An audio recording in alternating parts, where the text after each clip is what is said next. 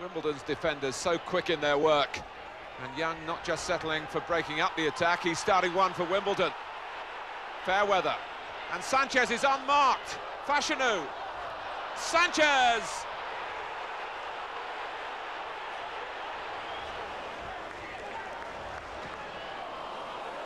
Ian Wilson did well to pull that one down. And was he knocked down himself?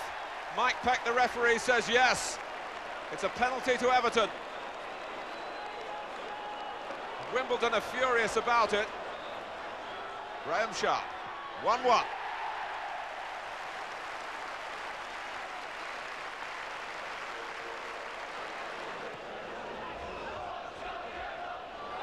Dropped over Young, Nevin, and Cottee, underside of the bar, and it didn't cross the line.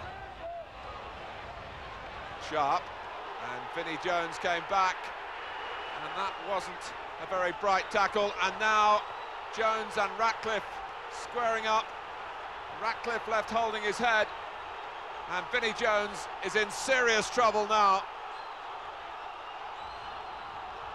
It was a bad challenge on Sharp, and then maybe Ratcliffe made more of that than the contact warranted. But Jones, with a reputation that will always work against him, he's off. Vinnie Jones sent off. That'll be the headlines in the papers tomorrow.